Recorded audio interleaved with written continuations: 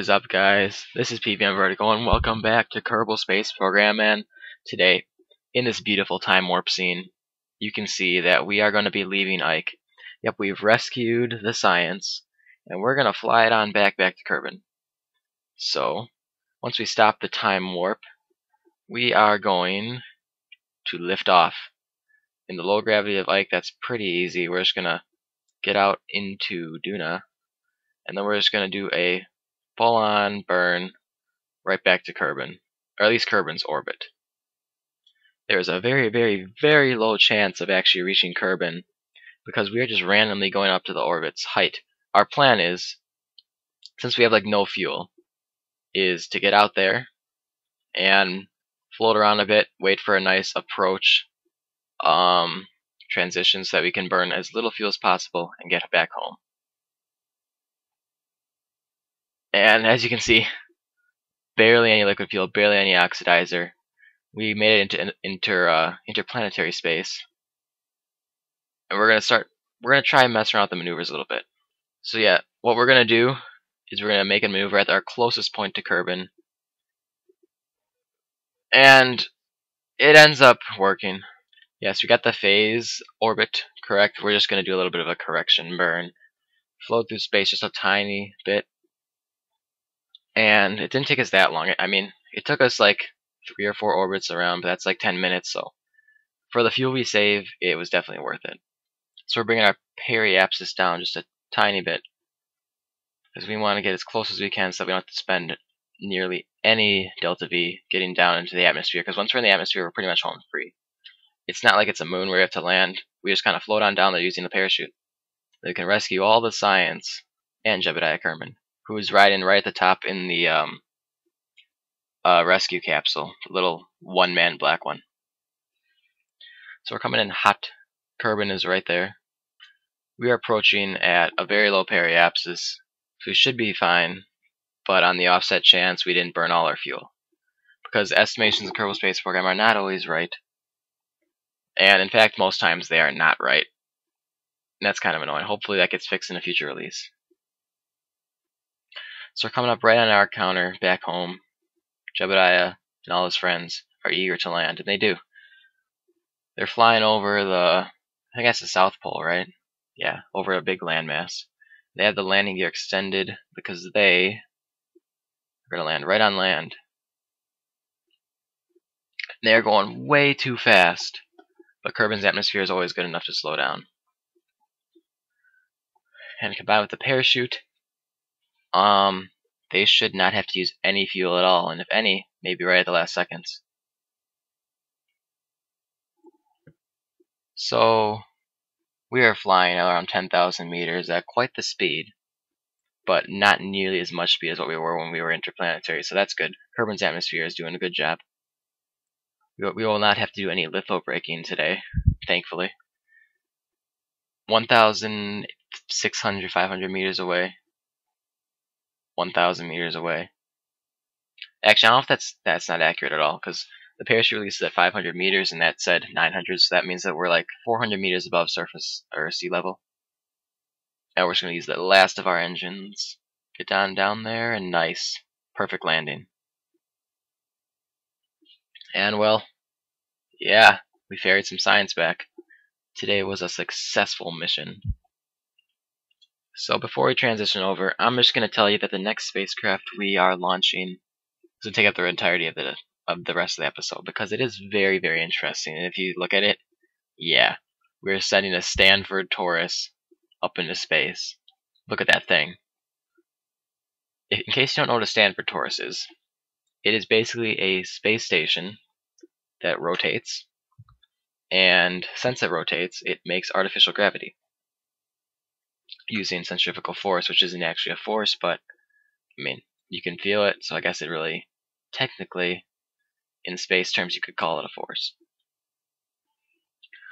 And we just ditched our first stage there. Second stage has a very much higher thrust to weight ratio, enough to power that um six engine nuclear core up there, which has like 4,000 meters per second of delta V which is pretty OP, if you want to say that in Kerbal terms. And if you're wondering why we're going to the left, is because instead of making an orbit, we're just going to launch straight into interplanetary space.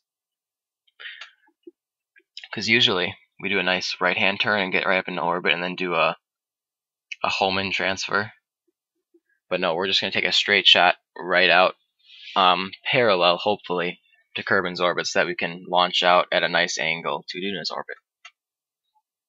But that's kind of not the case because we're leaning a little bit too far. We're at like 45 degrees and we're supposed to be going at like, uh, I don't know, like 25, maybe 30. But we're making our maneuver anyway and we get, uh, kind of close to Duna because we are going to Ike with this thing. And, uh, zooming in a little bit closer, you can see that the solar panels are being extended because it has a large array I don't really know why I put such so many solar panels on it, but they're there. We have a uh, hexa nuclear engine right there, being fed by um, the Torus itself. Because the Torus, if you didn't see there, it's not crew cabins. I mean, there's there's enough for like 20 or so Kerbals because we do have some crew cabins, but most of it is fuel. And it's being linked up right to the center stage, which is going to ferry it over there, and then there's a decoupler below that, so that when we deploy it, the only engines that will be on there are the rotational engines, which will keep it rotating and make some artificial gravity. And so, we are getting up onto the place where we're kind of messing around with maneuvers.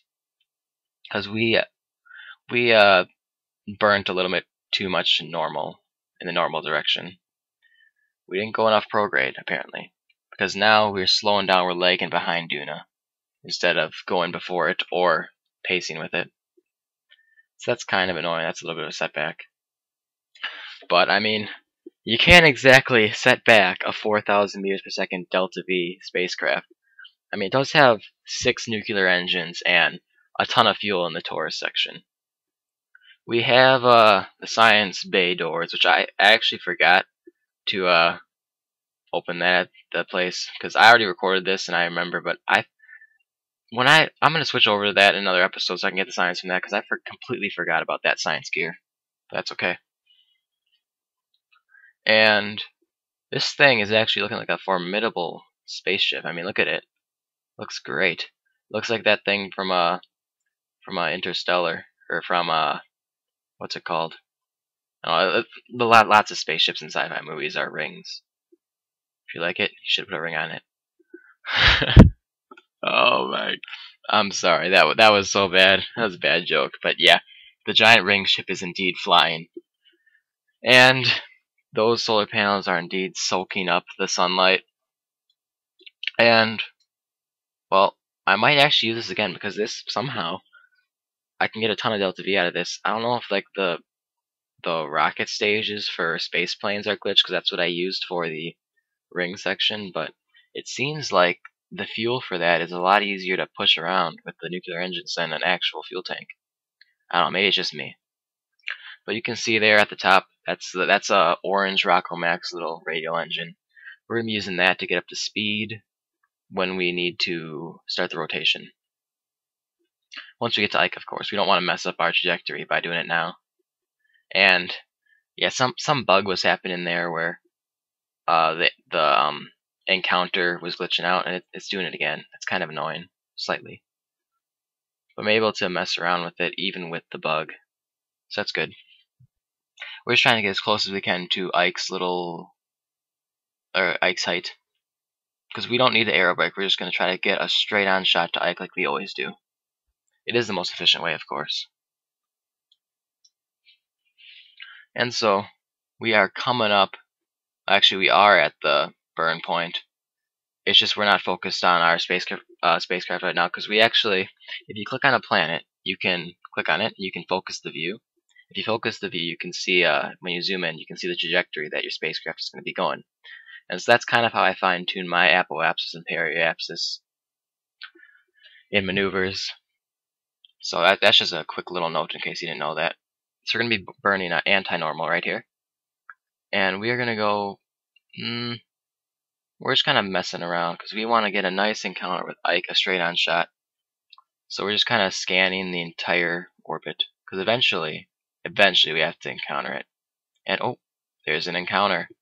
But uh, I was getting kind of excited there. I was about to start burning, but I didn't notice that we would have to go through the planet to get there. So that can't happen, obviously.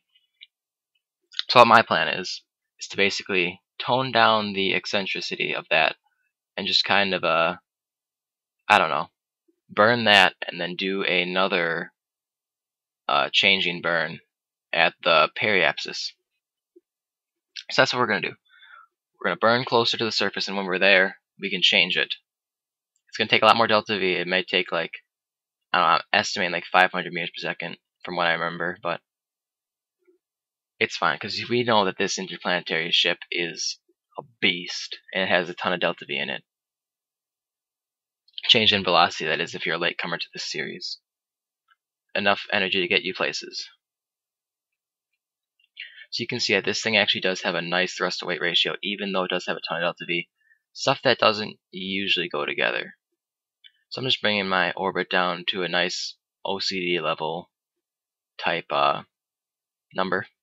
Can't remember the exact number because I can't really see in the preview window, window uh, but that's okay. Because we are here anyway. And yeah, so we get to the correction place and we're just going to burn this way in order to set our course for Ike.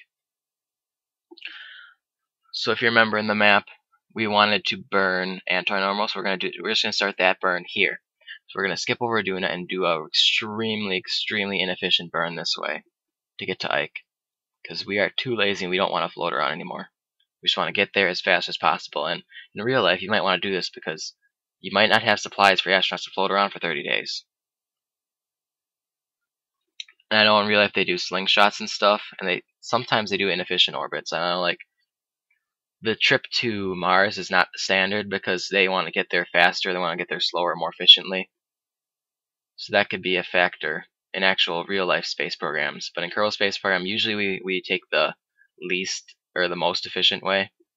But right now we're just taking the speed way because um, we well if we can. I told you this this is a spacecraft has a ton of delta V. We do not have to save it because it doesn't even have to land. All it has to do is get into orbit and well, it has to start spinning. That's basically it. So yeah, we're in case you didn't know, we are doing this for a contract because we are saving up for the research facility upgrade that we are going to spend three million funds on. That's going to be quite a lot of money. I actually passed up my um periapsis there. I didn't get to warp. I, I warped too far, should I say? So where are I going to end up, uh, I guess, at this height. I guess I was getting a little bit cocky because I had so much delta V in this thing. I think it was actually closer to like 4,500 or 5,000 to be honest. But we could have easily sent this up on a bigger spacecraft and gotten it a lot further. Might actually use this craft as a baseline for our Jool ship. I mean, that'd be pretty cool. A Jool ship having uh, artificial gravity on it. I want somebody to make a mod. I don't know if any mods that do artificial gravity, but that'd be nice. Because, uh, I'd like to jump around in space. That'd be pretty cool. And in case you didn't know, yeah, this is pretty much just for show. So we get up into orbit. It's like an 800,000 meter or kilometer. Can't remember. But we're here. And we get the contract. Eventually it's going to say bing, we get it. What we're doing here is we're just gonna detach. All the fuel lines disappear. We're gonna time warp so we can leave that thing behind. And after we're done, boom. We're just gonna we're just gonna start spinning. Once you find the right angle, the right cinematic angle, perfect. Okay, so I'm quick saving there because I was afraid of what might happen if I start spinning this thing, and so yeah, I do. I spin it up. Oh, look at that thing go. Nice. Look at that thing. Oh, if any Kerbals in the crew cabins, they're feeling a nice carnival-esque push right against the wall. Might even be able to do some uh, Kerbal activities like jumping and stuff in there. Maybe eating snacks without the Doritos floating everywhere. I don't know. But this thing, I'm I'm not gonna lie, I like this thing. It's one of the better designs I've done in my career section, the career series. I mean, I've made some pretty big things in Sandbox, but this thing, I gotta say, I enjoy it. Look at that. And yeah, we're not using stability assist because um that would stop a rotation, and that that would stop the fun because more rotation obviously equals more fun. We got the contract, so don't worry. This was, this messing around was not for naught.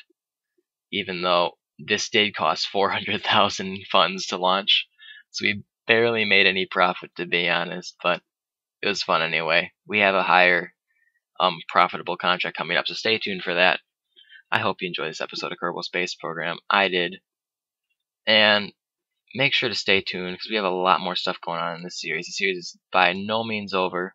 In fact, we have quite a few episodes left. Stay tuned. This is PVM Vertigo. Peace out.